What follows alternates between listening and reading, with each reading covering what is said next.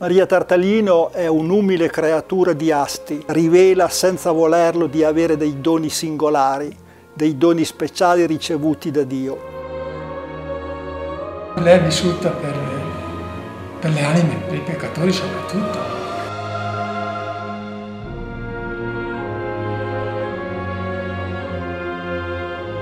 Padre Pio ha sempre creduto alla verità del sanguinamento del crocifisso ha sempre detto però abbiate prudenza, abbiate pazienza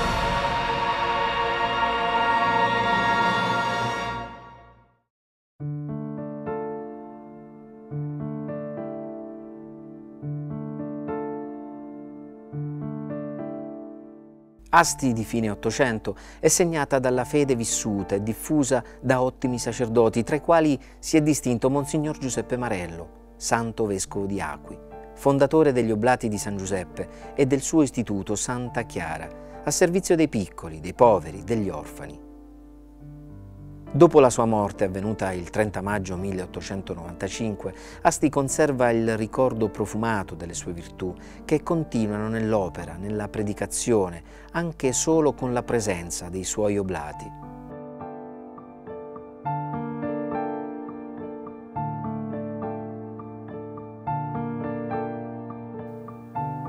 San Giuseppe Marello nel 1883 ad Asti, nell'attuale Corso Alfieri, proprio di fronte alla casa dell'illustre drammaturgo, poeta, scrittore, autore italiano, riscatta l'antico monastero di Santa Chiara, oggi casa madre della congregazione da lui fondata, gli Oblati di San Giuseppe.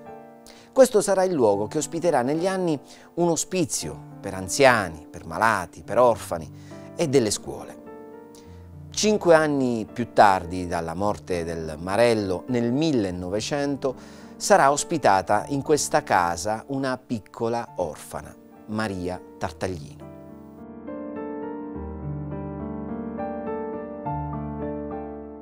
Maria Tartaglino è nata ad Asti, venerdì 17 settembre 1887, da Giovanni Tartaglino e la Falli Olimpia. Rimase presto orfana di mamma quando non aveva ancora due anni, perché la mamma morì il 7 luglio 1889 ed il papà il 30 aprile 1908. Fu cresciuta dalla migliore amica di mamma Olimpia, Teresa Valsania, che la bambina chiamava zia. Maria fu battezzata il 18 settembre 1887 nella parrocchia di San Pietro ad Asti e ricevette poi la cresima nel 1900 nel Duomo della città. Nello stesso giorno ricevette anche la prima comunione nella vicina chiesa di San Martino.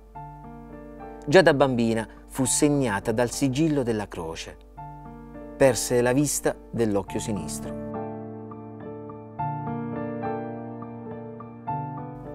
Il 23 ottobre 1900 entrò nell'istituto chiamato Santa Chiara per far parte delle figlie di Sant'Anna, fondate da San Giuseppe Marello. Erano orfanelle che divenute adulte non volevano passare tra le suore, ma nemmeno tornare nel mondo. Tre virtù animavano questa famiglia, umiltà, carità e obbedienza. Inoltre, vivendo accanto agli oblati di San Giuseppe, la congregazione fondata da Monsignor Giuseppe Marello, provvedevano al servizio domestico di quest'ultimi, alla casa e all'ospizio di Santa Chiara. Maria viene ospitata nell'istituto Santa Chiara insieme ad altre bambine, ad altre ragazze, de, delle quali si, prendono, si prende cura una famiglia religiosa fondata da San Giuseppe Marello, le figlie di Sant'Anna, che avrebbero dovuto poi essere le suore Giuseppine. La sua accettazione da parte dei superiori ha qualche cosa al di fuori dell'ordinario. In un primo tempo non accettarono la sua domanda, portando alcune ragioni che forse non erano che scuse più che difficoltà vere.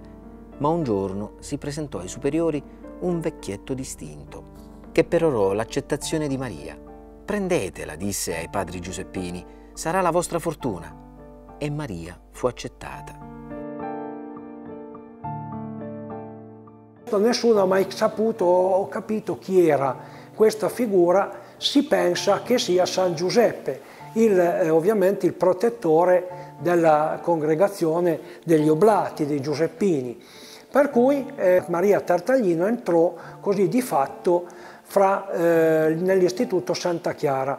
Eh, venne messa fra le orfane, ma non, cioè venne messa con le bambine più piccole, eh, però eh, con una funzione quasi didattica perché eh, la, la, mamma adottiva, la Teresa Valsagni, aveva insegnato a eh, cucire a questa ragazza e tra l'altro era un'ottima ricamatrice, anche in seguito Maria Tartaglino fece molte opere di cucito, di, di, di tessitura anche per gli esterni, perché in genere in questi istituti eh, facevano dei lavori per l'esterno per i laici di fuori e poi vendevano questi prodotti.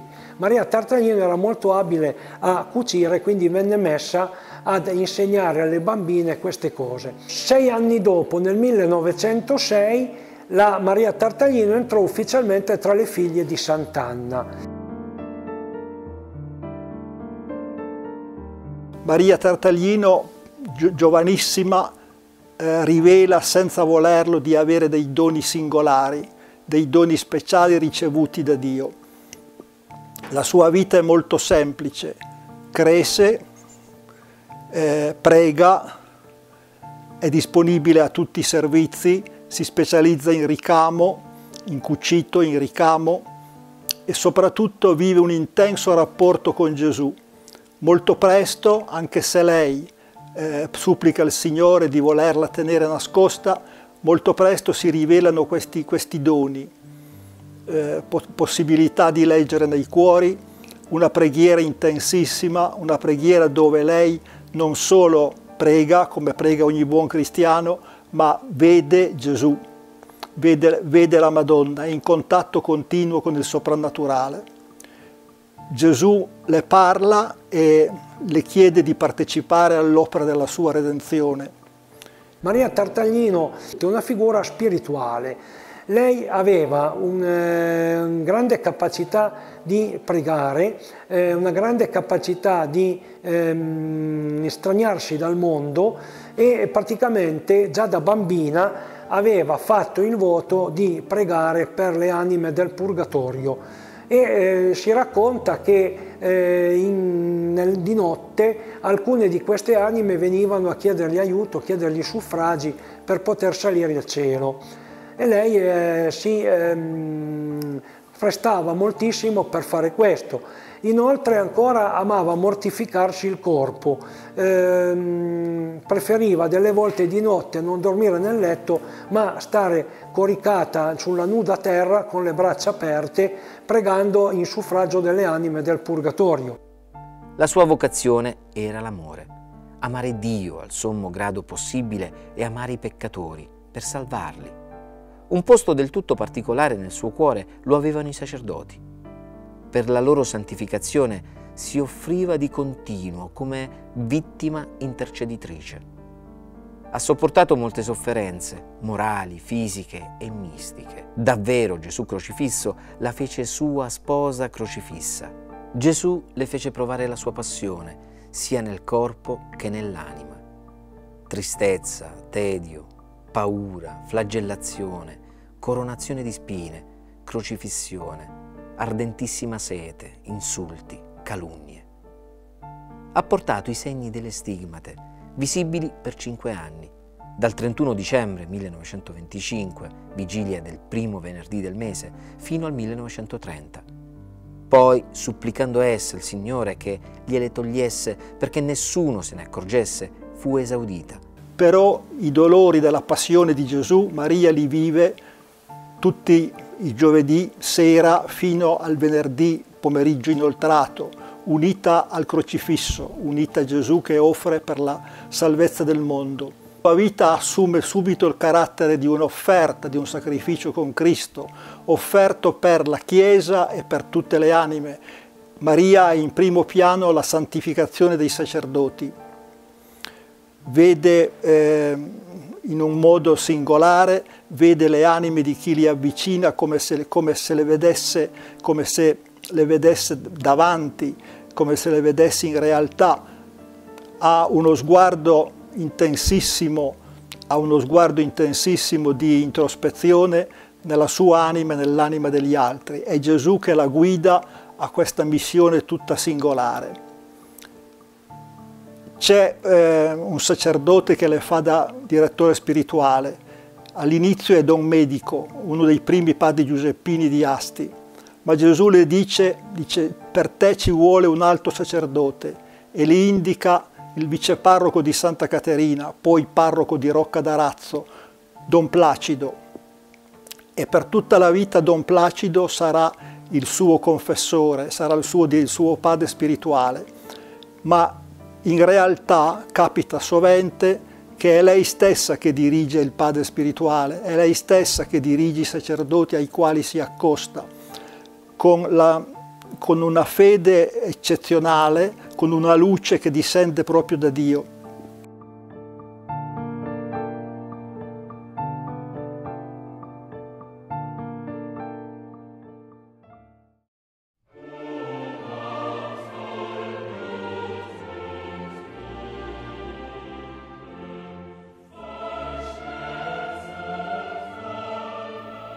La sua vita rimase nascosta fino al venerdì 11 agosto del 1933.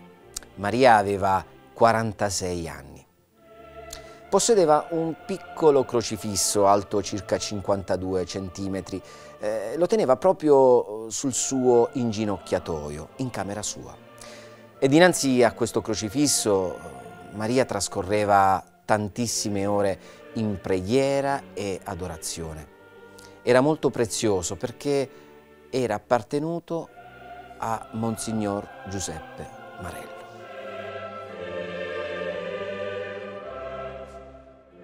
Maria, proprio nei giorni precedenti, all'11 agosto del 33, iniziava a provare una forte pena interiore.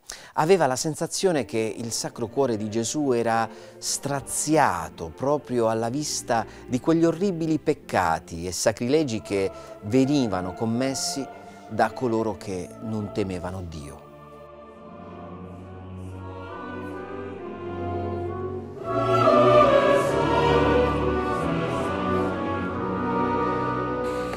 Camera Maria aveva un ginocchiatoio uguale a quello, con sopra le due statue, quelle due, e un crocifisso in mezzo. Non era tanto grande, era 52 cm, compreso il piedestallo tutto. L'11 agosto dell'anno santo 1933 lei faceva ore di, di preghiera ginocchiata. Si accorge che costato di questo crocifisso si muove, viene fuori sangue. E si è spaventata, ha cominciato a lavare, ha cominciato a straccio, non voleva che nessuno sapesse niente. In un certo momento sente una voce Gesù che dice è inutile che tu lavi, io voglio farlo sapere al mondo. Allora è corsa alla stanza vicina, c'era un'altra ricoverata che è madre dei nostri due missionari, e dice vengo a vedere, vengo a vedere. E cosa c'è? Va là. Questa Maria Mortera tocca col dito il crocifisso, le mani intrise di sangue. È rimasta impressionata. Oh, chiama il superiore, chiama la suora, venuto parecchie persone a controllare, a vedere. E difatti c'era sangue vero. Là c'era un piccolo segno, non era tagliato il crocifisso, era dipinto un piccolo segno. Si è aperto come fosse carne viva. Però ha messo a silenzio tutto, nessuno deve dire niente.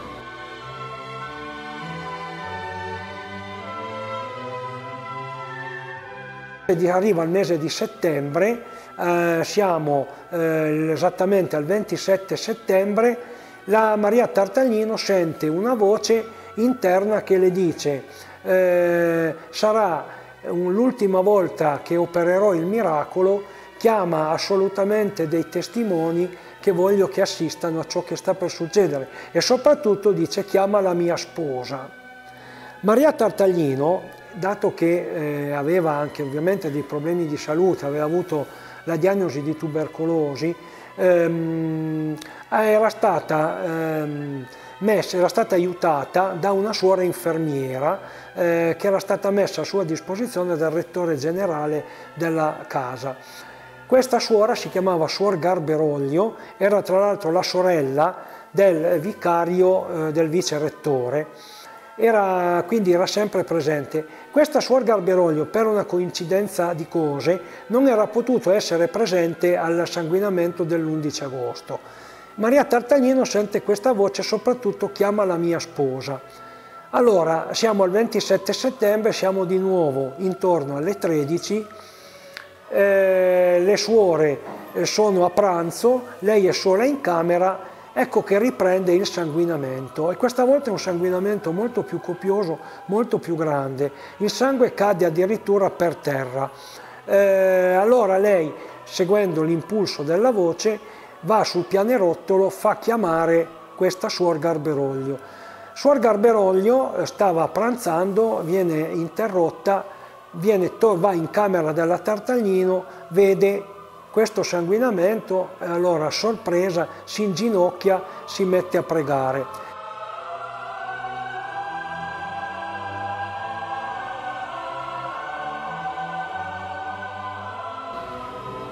Il 27 settembre di nuovo va sangue, lo stesso crocifisso, sempre nella camera di Maria, è lì in abbondanza, Qui abbiamo la fotografia del 27 settembre, finita, la, finita l'emissione di sangue. L'emissione dell'11 agosto, lo in un altro quadro, e si vede la differenza, qui è più pieno di sangue, crosta di sangue, per metterle insieme, sono i due giorni di emissione di sangue, di crocifisso. Il fotografo era canonico di quel santuario che vedete qui davanti. Canonico Barosso. Canonico Barosso, sì, il santuario del Portone. Hanno chiamato le suore a fotografare. Hanno chiamato in fretta anche nella seconda emissione. Ha fatto tempo a prendere la fotografia mentre stavo uscendo per dire l'ultima voce. Questa è proprio l'ultima. Naturalmente qui bisogna farlo conoscere, perché il Signore ha detto voglio dirlo al mondo. Però silenzio perfetto anche da parte dei nostri superiori. Io ero appena arrivato ad Asti, sono arrivato il 30 settembre, era già avvenuto due volte l'emissione di sangue, non sapevo niente. Gesù che dice a lei, io sono l'immagine del Padre mio nella divinità, perché lui è Dio. Tu sarai l'immagine della mia umanità. E la Tatena dice, quando sarà tua volontà, oh Gesù, che io ti faccia conoscere e amare, ti mostrerò, sarà lo stensorio che ti mostra nella fede a tutti. In me ti rifletterai.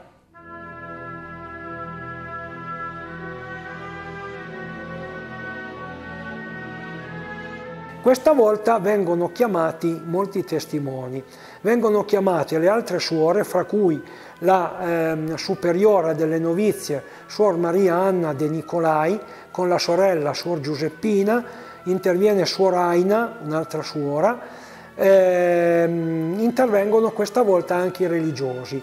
Eh, intervengono infatti eh, padre eh, Viola, padre Garberoglio, il vice rettore, padre Possavino e, eh, e altri, padre Bianco e altri ancora. Manca il rettore eh, generale padre Martino perché era a Roma, era stato mandato dal vescovo per eh, spiegare la questione del primo sanguinamento al Sant'Uffizio. Comunque questi religiosi tutti vedono, la, eh, vedono il sanguinamento, ne restano colpiti. L'unico dubbioso è eh, l'economo della casa, eh, padre Possavino Alfeo, che ehm, non è tanto convinto, infatti va vicino al crocifisso, lo prende in mano, lo controlla, tocca le ferite e a un certo punto si rende conto che è vero sangue, non è un trucco, non è una, una invenzione, si inginocchia, chiede perdono a Dio di aver avuto questo dubbio e diventa poi uno dei più tenaci sostenitori del crocifisso miracoloso di Asti.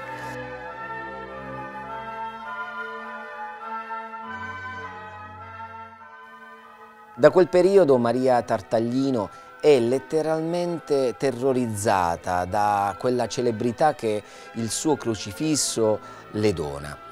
Eh, vorrebbe sparire, sparire dal mondo perché nessuno la possa così avvicinare. Non chiede altro al Signore di essere avvolta nel silenzio e così di eh, diventare ogni giorno vittima con Lui.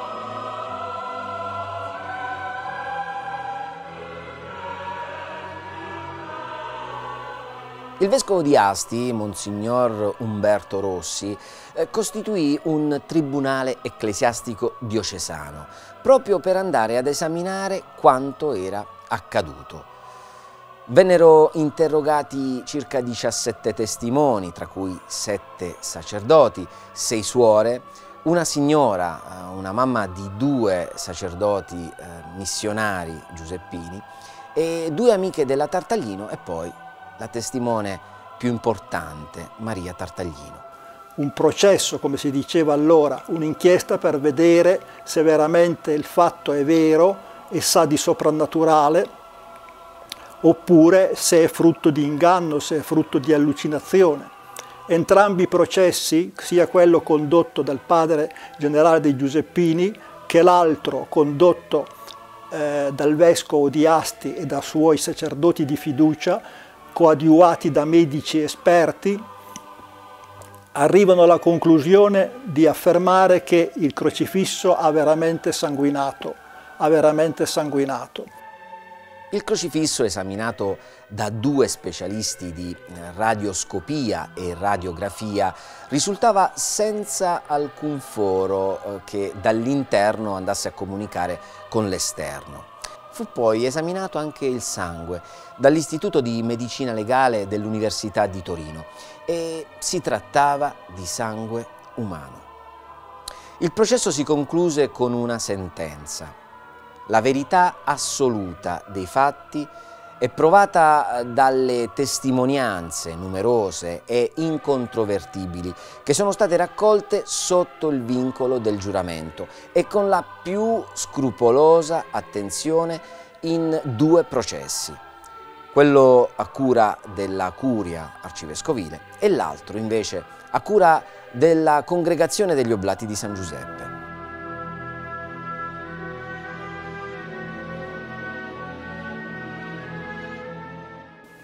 All'inizio di marzo del, 1934, mentre è ancora in corso l'anno santo della Redenzione, il vescovo stesso, Monsignor Rossi, intronizza nel santuario di San Giuseppe, da poco eretto, il crocifisso ed è subito una fiumana di gente che viene in pellegrinaggio ad Asti, presso il crocifisso, come viene detto, il crocifisso di Asti. Maria sa che quel fatto della sanguinazione di Gesù è avvenuto proprio perché oggi Gesù rinnova la sua passione nelle anime di chi soffre, ma ancora di più nelle anime di chi eh, lo rinnega. Anche oggi Gesù rivela a Maria Tartaglino, io sono rinnegato, io sono crocifisso, io sono messo da parte, tu devi eh, partecipare alla mia opera di redenzione. Vengono anche personaggi illustri come padre Reginaldo Giuliani dei Domenicani di, dei, dei Domenicani di Torino, futuro martire nella guerra di Abissinia, vengono eh, sacerdoti, forse in incognito qualche vescovo, comunque soprattutto nelle chiese di Asti, a partire da San Giuseppe, dal Duomo che non è lontano, da San Secondo, eh, si assiepano i confessionali è una vera missione cittadina, una vera missione diocesana che va oltre ogni aspettativa. Si interessa di tutto il Sant'Uffizio di Roma eh, che manda un visitatore apostolico, padre Lorenzo di San Basilio, il quale fa un'indagine e eh, per tutta esito, per tutta risposta, preleva il crocifisso, il crocifisso viene riportato a Roma e ad Asti non torna più. Naturalmente Maria Tartaglino patisce moltissimo questa situazione anche perché il Sant'Uffizio impedisce al padre rettore di fare visita, impedisce agli oblati di parlarne, infatti dà a loro l'obbligo assoluto del silenzio, obbligo che vige tuttora, e ehm, nessuno ne può parlare, anzi hanno anche l'obbligo di distruggere tutte le immagini, i batuffoli di cotone intrisi di sangue, eh, tutto quanto che fa riferimento a questo crocifisso. Ehm, quindi un danno incredibile, soprattutto questo danno si ritorce spiritualmente su Maria Tartaglino, che passa gli ultimi anni, quindi dal, gli ultimi dieci anni, dal 1934 al 1944, fra dubbi atroci, ehm, così eh, viene trattata male, riceve anche molti insulti, la stampa locale e nazionale ne parla malissimo, ehm, mentre prima che ci fosse eh, effettuata la visita apostolica eh, il processo diocesano eh, promosso dal vescovo di Asti, Monsignor Rossi, aveva approvato la soprannaturalità e la verità del fatto e questo lascia abbastanza sbigottiti, per cui era stato il crocifisso intronizzato al culto pubblico. Si parla di addirittura di 30-40 mila persone ogni giorno nel santuario di San Giuseppe.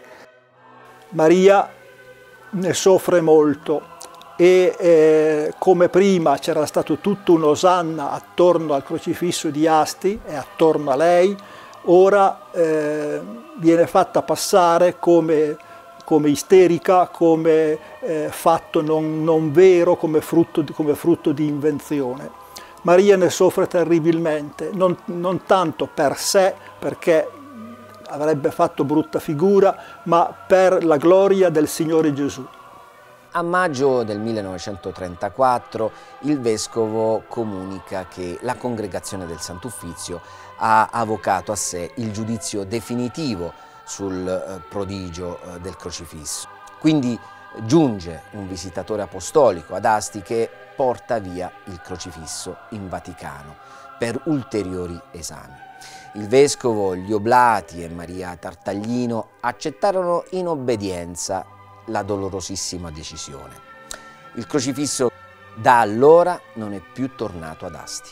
Il crocifisso è di proprietà del, eh, degli oblati di San Giuseppe, eh, anche perché il sanguinamento è avvenuto nella loro casa, eh, non dimentichiamo questo, e quindi eh, Mm, poi esistono comunque eh, dei, eh, degli atti notarili legali che danno la proprietà a loro, anche perché adesso l'ultimo proprietario che in linea ufficiale del, del, crocifisso, padre Alberto Chinovi, mancato nel marzo di quest'anno, ha dato, ha ceduto eh, questa proprietà all'attuale rettore della casa di San Giuseppe. Come in qualità di presidente del gruppo Amici di Maria Tartaglino eh, devo dire che eh, in questi ultimi tempi molta stampa locale si è occupata dell'episodio del crocifisso miracoloso auspicando ovviamente il ritorno del crocifisso nella nostra diocesi.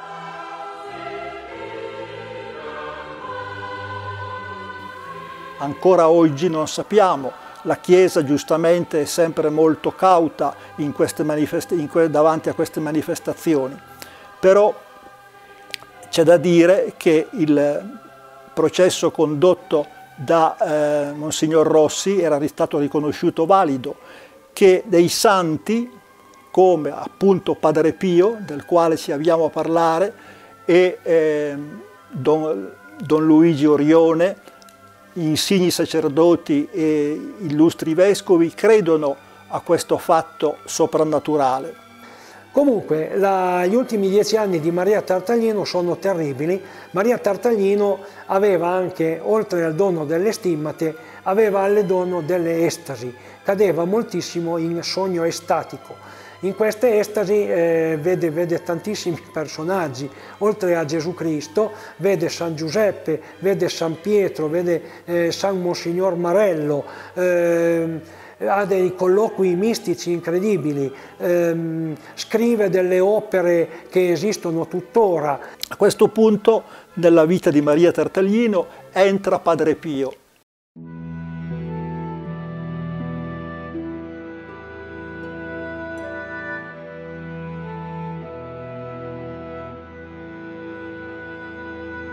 Voi quando volete sapere qualche cosa andate dalla vostra Maria andate dalla vostra Maria. Quello che la vostra Maria vi dirà io ve lo confermo. Avete capito? Proprio con questo interrogativo terminavano le risposte che dava Padre Pio da Pietrelcina a coloro che da Asti giungevano a San Giovanni Rotondo ed è questa un'espressione che ha annotato nelle sue memorie Margherita De Michelis di Torino, che quando giunse qui da Padre Pio le disse «Ma che cosa sei venuta a fare qui? Avete la vostra Maria ad Asti». Avete la vostra Maria, andate, andate da lei. Quando andavano a lui da Asti, pellegrini, da Asti o eh, dal Piemonte, quando andavano da lui a chiedere consiglio, a confessarsi, a cercare luce sui problemi della vita, Padre Pio qualche volta rispondeva ma ad Asti avete la Maria Tartaglino, andate da lei che vi, sarà, che, vi, che, vi sarà, che, vi, darà tutta la luce di cui avete bisogno, vi otterrà le grazie di cui, necessi, di cui avete necessità. Ebbe un rapporto molto intenso, particolare, eh, pur vedendosi poco, pochissimo, ognuno era a conoscenza dell'altro molto bene. Eh, si racconta di persone che andarono da Padre Pio e che eh, gli parlarono del crocifisso di Asti, eh, raccontandogli, Padre Pio disse so già tutto, io so che il fatto è vero, eh, continuate a pregare perché la cosa è vera. Eh, lo stesso rettore generale, padre Martino, andò nel 1937, il 6 di ottobre, andò da padre Pio e gli raccontò la cosa, a quell'epoca il crocifisso era già stato ritirato dal culto, era già stato portato a Roma, padre Pio disse non ti preoccupare, tu hai fatto tutto il tuo dovere, lascia fare il Signore, il Signore avrà, conosce la sua strada, si farà strada da sé. Altri laici andarono da Padre Pio a parlare del crocifisso. Si racconta di una signora di Asti, una signora De Michelis, la quale andò da Padre Pio in udienza privata e Padre Pio gli disse eh, non preoccupatevi, il, il crocifisso trionferà, tornerà ad Asti e farà meraviglie. Se i padri giuseppini vedessero quello che di meraviglioso seguirà l'arrivo del crocifisso ad Asti reputerebbero tutto ciò che sta succedendo una nullità. E questa signora rimase ovviamente di stucco a sentire queste parole. Padre Pio ha sempre creduto alla verità del sanguinamento del crocifisso, ha sempre detto però abbiate prudenza, abbiate pazienza, il Cristo tornerà, il crocifisso trionferà. Eh, noi non lo vedremo, ma probabilmente lo vedremo, lo vedranno i nostri successori. Eppure Padre Pio non ha mai visto la Tartaglino, non si sono mai incontrati su quelle che sono le vie terrene, anche se la stessa Tartaglino nei suoi diari ha raccontato che ha incontrato Padre Pio da Pietrelcina in bilocazione. Sappiamo e abbiamo documentazione, io stesso ho letto le testimonianze eh, scritte, sappiamo che Padre Pio nella notte, leggo dal libro che ho scritto io, Maria Tartaglino, Ostia con Gesù crocifisso, nella notte dell'8 aprile 1939, tra il venerdì e il sabato santo, Padre Pio si reca in bilocazione nella stanzetta di Maria presso l'Istituto Santa Chiara di Asti. A Don Mori, un santo giuseppino che la, che, la, che, che la seguì nella sua vita spirituale, Maria qualche giorno dopo racconta Verso le tre di mattina mi sono trovata nei pressi del convento di San Giovanni Rotondo e Padre Pio mi si è fatto incontro tutto sorridente e lieto e chiamandomi ripetutamente con il nome dolce di figliuola. Dopo un quarto d'ora di interruzione ho visto comparire Padre Pio presso il mio letto, a destra, e si è intrattenuto con me fino alle 6.30 Dicono che Padre Pio sia serio e brusco, invece con me è stato tanto buono e dolce. Sarà serio con le anime belle, ma con i poveri peccatori come me è tutto bontà e mitezza. Una bilocazione strana ebbe Maria Tartaglino eh, a San Giovanni Rotondo. Maria Tartaglino preciso che lei non sapeva le estasi, non sapeva di andare in estasi. Lei dice che sognava, per lei le estasi erano sogni. Allora un giorno, una notte, sogna di trovarsi in mezzo a un furioso temporale, si trova nel cortile di un monastero. Lei non sa ovviamente dov'è, eh, pioveva, tuonava, lampeggiava, lei aveva paura, bussa alla porta di questo monastero, di questa casa, la porta si apre, compare Padre Pio che la apre, apre la porta e lei entra, restano alcuni, alcune ore in colloquio così, poi eh, Maria Tartaglino si sveglia ovviamente nel suo letto. Padre Pio fu in bilocazione eh, da Maria Tartaglino due volte. La prima volta l'8 aprile del 1939, esattamente dalle ore 3 alle ore 6.30 del mattino. Padre Pio si sedette sulla sponda qua del letto insieme a Maria Tartaglino. Parlarono fino appunto alle 6.30 del mattino quando Padre Pio scomparve. Un'altra bilocazione ebbe eh, Padre Pio con Maria Tartaglino il 30 novembre 1940, che qui stette alcune ore in colloquio con la mistica. La consola, la incoraggia, le dà la benedizione per lei e per Padre Martino. Maria ne rimane assai lieta e conserva per se stessa quanto Padre Pio le ha detto. Verrà ancora due volte durante il soggiorno di Maria a Rocchetta Tanaro, in casa Merio, tra il 5 e il 13 luglio del 44, quando tutto sarà vicino a compiersi nell'offerta finale. Il superiore generale dei padri Giuseppini, che ebbe non poco a soffrire per causa di tutto questo, andò personalmente due volte da Padre Pio a chiedere se era vero quanto la Maria gli, aveva confessato, gli aveva, gli aveva eh, affidato come confidenza. Padre Pio all'inizio eh, fece finta di non sentire, poi, poi annui, fece cenno col capo, sì è tutto vero. Padre Pio aveva associato a sé non solo Maria Tartaglino, ma aveva associato a sé in questa unione mistica con Gesù, in questa partecipazione piena e totale alla sua opera di redenzione, tantissime, al tantissime altre anime.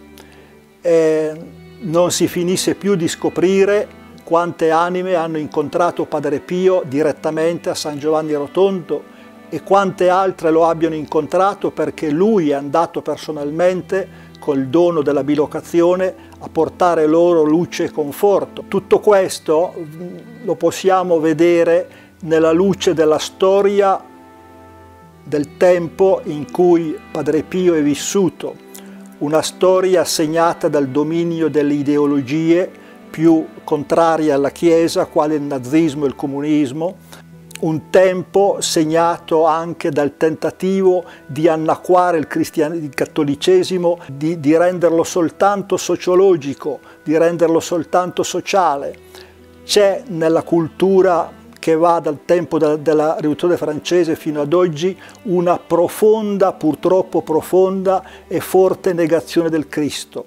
I santi del XX secolo sono tutti incentrati in Gesù, tutti incentrati in una forte rivendicazione del primato di Gesù nel, nella vita, nella società, nella storia. Ora Maria Tartaglino alla scuola di Padre Pio perché ella sapeva del, del, dello stigmatizzato del Gargano, sapeva fin da, quando, fin da quando Padre Pio era stato stigmatizzato, sapeva di lui e viveva praticamente sulle sue orme. Quando poi lo incontrò in bilocazione, per lei fu il massimo della gioia, fu il massimo della gioia veder, vedersi, veder garantita la sua vita spirituale, la veridicità della sua vita spirituale da un uomo santo quale Padre Pio era.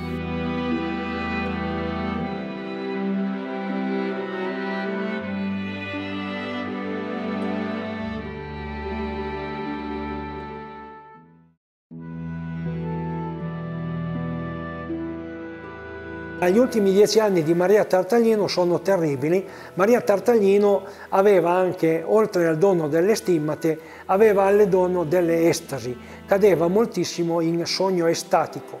In queste estasi eh, vede, vede, tantissimi personaggi, oltre a Gesù Cristo, vede San Giuseppe, vede San Pietro, vede eh, San Monsignor Marello, eh, ha dei colloqui mistici incredibili, ehm, scrive delle opere che esistono tuttora e eh, arriviamo praticamente agli anni eh, della guerra, scoppia la guerra. Il 10 giugno 1940, l'Italia entra in guerra, eh, cominciano i primi bombardamenti su Asti e eh, tante persone vengono a chiedere aiuto, soccorso a lei da, queste, eh, da questi fatti bellici dal, dal, dal bombardamento alla paura delle bombe, alla paura di morire.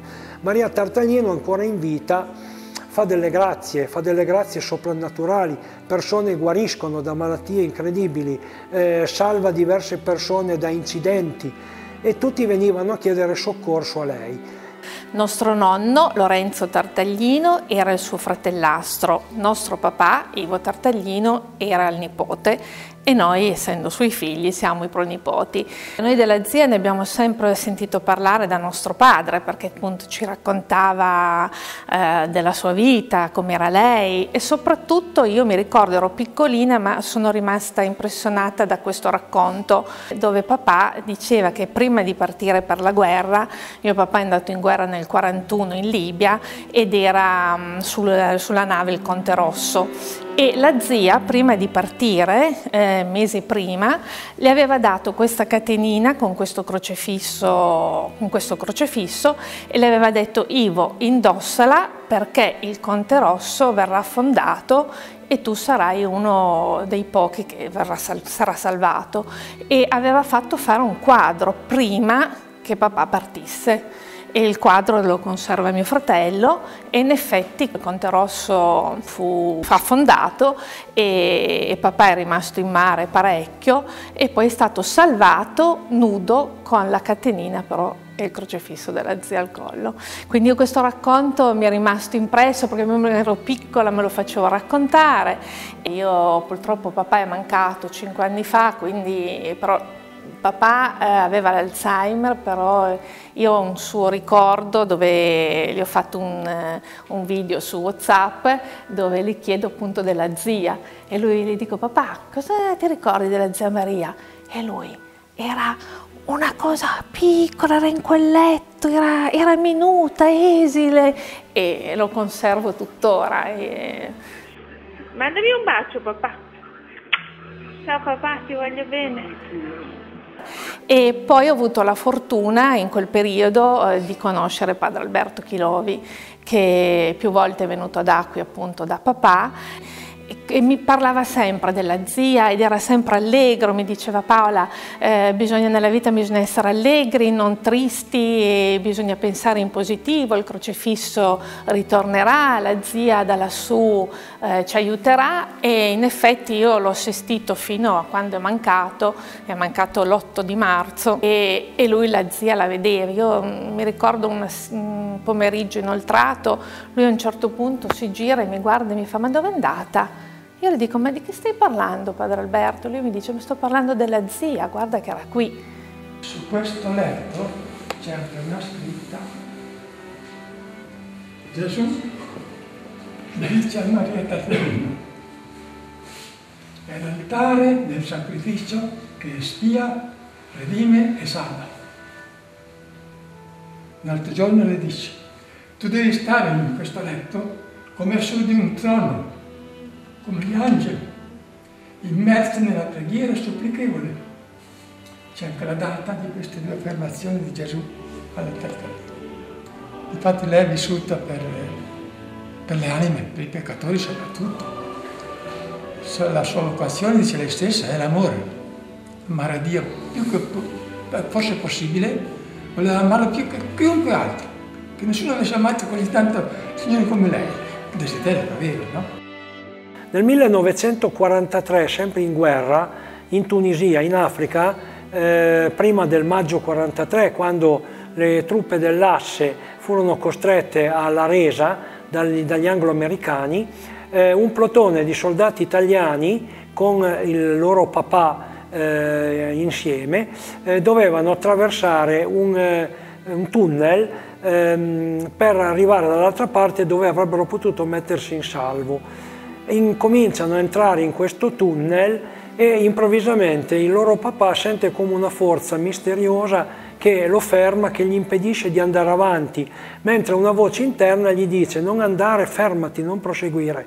Lui si ferma, per, ovviamente anche impossibilitato ad andare oltre, gli altri invece vanno, eh, vengono tutti uccisi dai, eh, dai, nemici che stavano dall'altra parte. L'unico a salvarsi è stato... Il, il quadro che accennava mia sorella in camera mia da letto e mm, me l'ha donato mio padre e io purtroppo sono stato operato circa quattro anni fa di un, di un brutto male, diciamo di un male del secolo e io mi sono sempre appoggiato a quel quadro e vedevo sempre questo crocefisso che mi guardava in ogni posizione in cui ero.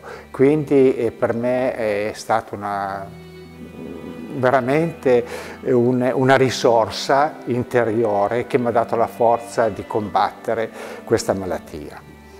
Un altro grosso punto interrogativo che ho, che a mia sorella non l'ho mai quasi confessato, anche perché io sono un po' più vecchio quindi eh, cerco alcune cose di tenerle per me per non preoccuparla più di tanto. E quando mia mamma prima dell'operazione di essere stata operata al cuore di quelle valvole di cui tanto si è parlato quel pomeriggio prima di essere ricoverata in clinica per l'operazione, mi ha preso e mi ha fatto fare il giro della casa e mi ha detto eh, ho parlato con Padre Pio, voi fatemi operare, ma io morirò. E così è stato. Quindi questo qui è stato veramente un altro segnale che non ho dato importanza, invece come mi ha fatto capire Padre Alberto, le cose devi sempre valutarle con sorriso e con speranza e con tolleranza. Questo è stato un grande insegnamento. E un terzo che non so proprio spiegarmi, è Padre Pio ha scritto a mia mamma una bellissima lettera di tre pagine. Questa lettera, questa lettera, quando mia mamma è mancata, non l'ho più trovata. Quindi l'abbiamo cercata per mari e per monti, come si dice, eppure non, non c'è più nessuna traccia. Quindi si vede non so cosa c'era scritto perché me l'aveva consegnata in una busta chiusa e mi aveva detto dopo l'operazione di, di, di, di, aprirla, però io, noi non l'abbiamo più trovata. L'aveva lasciata in un cassetto nel, in casa sua, non l'abbiamo più trovata negli ultimi anni aveva anche avuto anche dei problemi di salute. La ferita al cuore, il danno al cuore si traduce in una miocardite, quindi un'infiammazione della parte muscolare del cuore, del miocardio, eh, subentra una forma di diabete, va in insufficienza renale, questi problemi si trascinano per alcuni mesi, siamo nel 44, fino a quando alle ore 20 e 10 del eh, primo settembre muore. Viene eh, vista da alcuni, da tutti i confratelli, tutti vanno a trovarla, fra l'altro va a trovarla ancora prima, gli ultimi istanti prima di morire, un eh, confratello, un, eh, un religioso, un giuseppino, padre Alberto Chilovi, all'epoca ragazzino, eh, non era ancora sacerdote, ehm, va a un colloquio mistico con lei eh, io ho conosciuto padre Chilovi, eh, io ho sempre chiesto che cosa avesse parlato con Maria Tartaglino, non ha mai voluto dire niente, viene rivestita degli abiti da sposa con un, un abito bianco bellissimo, tutto pizzo, con un velo stupendo, viene sepolta, viene fatto il funerale il 3 settembre del 1944, viene sepolta nel cimitero di Asti dove è tutto